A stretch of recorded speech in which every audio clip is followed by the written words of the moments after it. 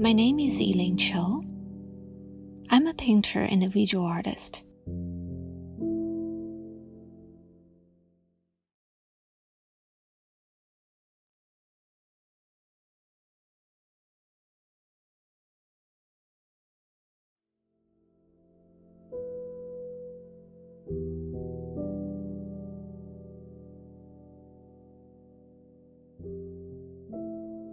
Painting for me is a form of discovery.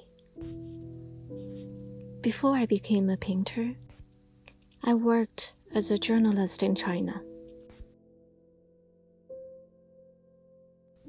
What I like about painting is that it is a language that often bypasses racial or ethnic barriers. Painting provides a way to talk about things that don't lend themselves to words. I've always been interested in things that lie beneath the surface. What happens between the lines? Because most of the time, what is said is never just what is said. Sometimes I'm more interested in the details that have been deleted or omitted from the stories that are told or published. For me, both art and journalism are a discovery process, a continuous journey towards understanding. Both begin with the original idea or the first day story, which is then explored and built over time.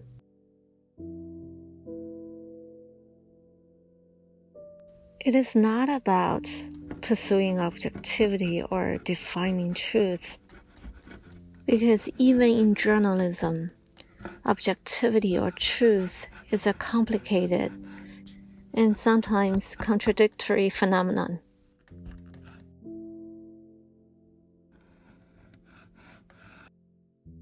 To me, the word curtains signifies a sense of closure.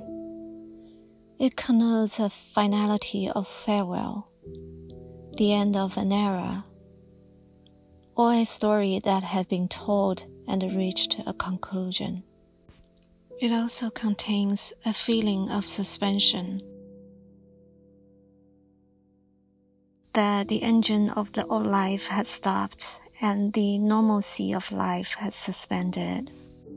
My work for the show is about the current pandemic. I've been making work about the outbreak of the virus since February. I grew up in Wuhan, the city where the pandemic first emerged. My parents, relatives, and friends are still living there. There have been endless confusions, conspiracies, and conflicts around the virus from the very beginning. I try to make sense of the experience by working. The work is an investigation, an inquiry into what things are or what I thought they were. So, this is a piece called Suspension. It is a large painting, 6 feet by 8 feet. I was working on it when the lockdown started. Then I lost access to my studio. I might be able to get back to it, or might not. Just like the rest of us. We had to give up our expectations, schedules, and plans at this time. This is a painting about disruption and how to live on the edge. It has a tumultuous surface, but at a deeper level, things might just quietly unfold as they need to. I deliberately work on small and large pieces simultaneously. The scale of the work is important. When you encounter them in person, it evokes different feelings and emotions in the body. It is a very embodied experience, especially for large paintings it might help the viewers become aware of how they physically relate to the painting in space. When you engage the painting up close, as you get closer and closer, the painting starts to break down and becomes many different images.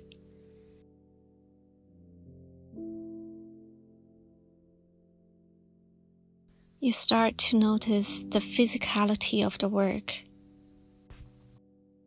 The traces that paint left after sanding and erasing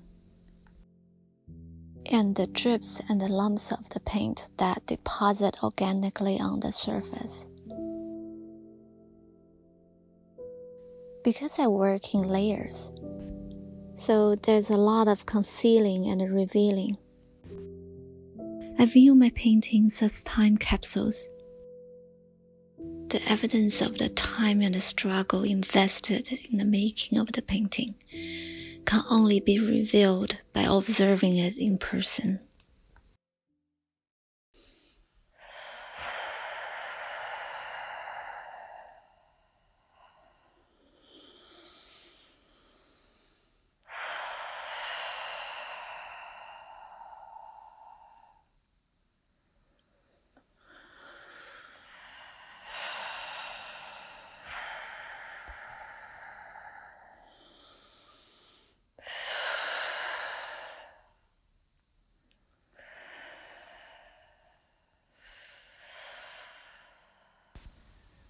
This is a video piece called The Hiding Place.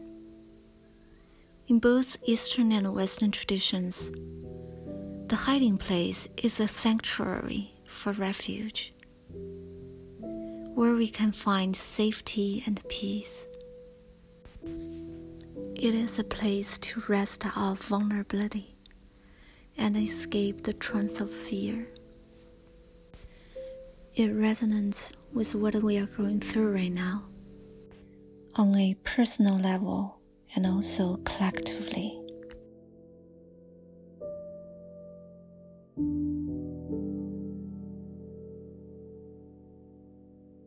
Where is our hiding place? When the things that kept us tethered to an orderly life are suddenly swept away. What do we do when the unprecedented befalls us?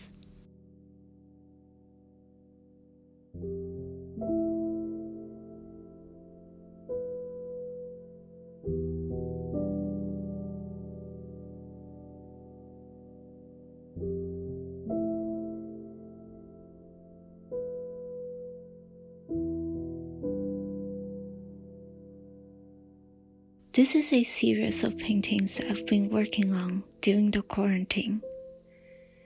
I borrowed images from pandemics and the disasters that happened in the past, as well as from the latest news. And I kept the images half hidden.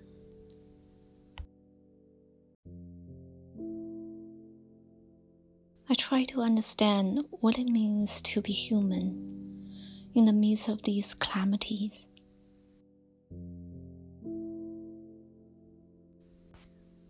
What did we learn? And how do we live forwards? Between the title Curtains and our current situation, there's a shared sense of uncertainty.